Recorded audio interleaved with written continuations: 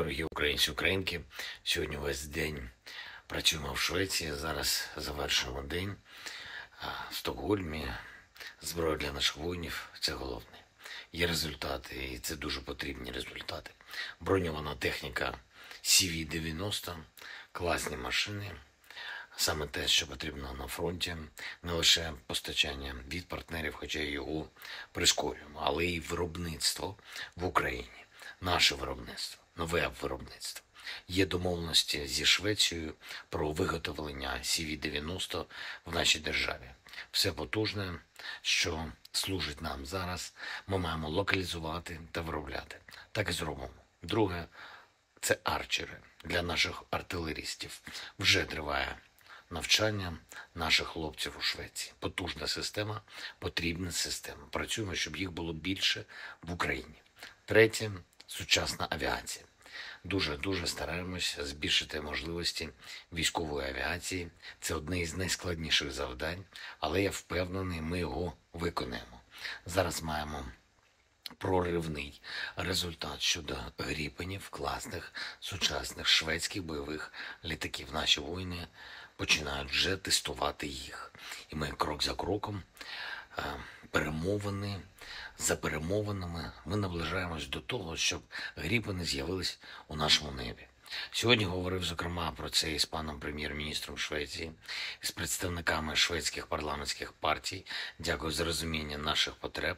Працюємо над початком етапу із тренуванням наших хлопців на гріпенах. Деталі ми обговоримо. Була сьогодні хороша і змістовна аудієнція короля Швеції Карлом XVI Густавом та королевою Сільвією. Був у них разом з Оленою. Вдячний за підтримку України і наших людей. Вдячний за розуміння того, через що доводиться проходити українцям зараз. Сьогодні різні лідери, представники держав, міжнародних організацій засудили черговий надзвичайно підлий російський удар по Україні, по нашому Чернігову. Я вдячний кожному і кожній в світі, хто сьогодні висловив співчуття Україні, нашому народу. На жаль, семеро людей загинули в Чернігові від ракети. Серед них дівчинка звали Софія 6 років. Було мої співчуття рідним. Поранених, травмованих 144, серед них 15 дітей. Ракета вдарила по центру міста.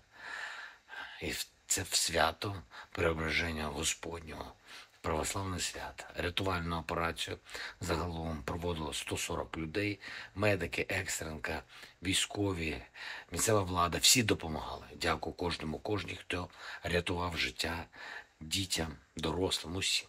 Особливо відзначу фельдшерів екстренки Людмилу Копиш та В'ячеслава Прогоренка, працівників ДСНС Сергія Костенка, Владислава Соколенка, Юрія Овруцького, Валерія Моргацького, Олексія Марченка, Віктора Довженка, а також поліцейських Андрій Вовк, Андрій Зеляк. Вдячний вам усім. Я впевнений, наші воїни дадуть відповідь Росії на цей теракт. Відчутну відповідь. Слава усім, хто захищає нашу державу і наших людей. Слава Україні!